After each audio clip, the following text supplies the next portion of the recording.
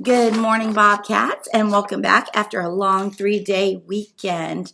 It is Tuesday, February the 21st. Please stand for the Pledge of Allegiance. I pledge allegiance to the flag of the United States of America and to the Republic for which it stands, one nation, under God indivisible, with liberty and justice for all.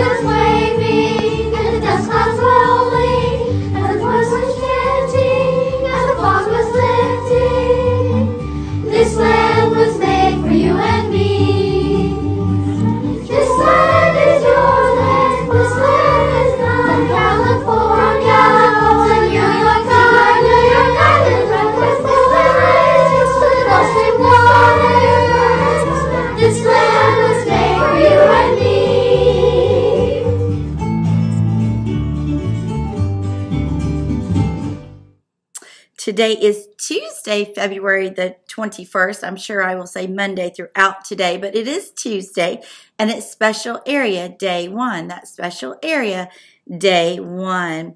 Our weather today, our weather this week looks to be amazing. It doesn't sound like February to me. We're going to have a high of 79, a low of 61, partly sunny skies today, and warm weather. They say we may even break into the 80s this week. That is crazy, but we'll take it. Listen, let's see what's cooking in the Buck Lake cafeteria today. I hope what's cooking is some great behavior. Today we will have nachos as well as vegetarian nachos, cheeseburger, tater tots, black beans, 100% fruit juice or fresh Florida fruit, and as always, white chocolate or strawberry milk. We want to wish these two Bobcats a happy, happy birthday.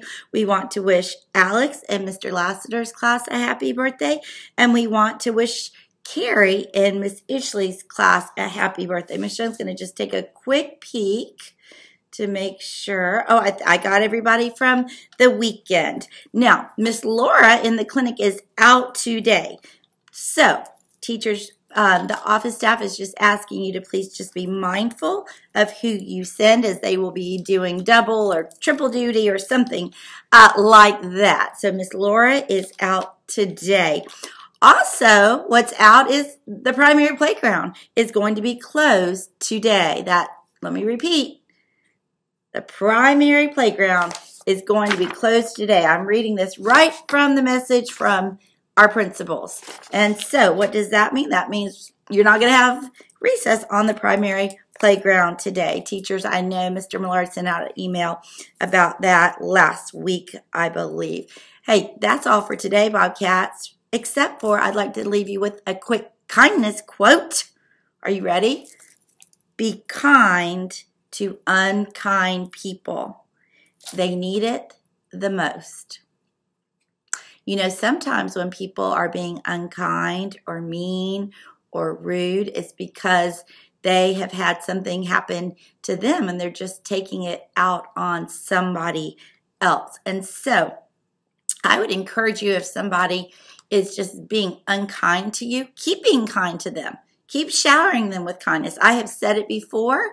I'll say it again. It's really hard to be mean or unkind to somebody who's being kind to you. So maybe if you have a friend today who is unkind to you, keep smiling, keep speaking, and encourage their kindness as well. That is all for today, Bobcats. Remember to purr, be prepared, be upstanding, be responsible, and always be respectful.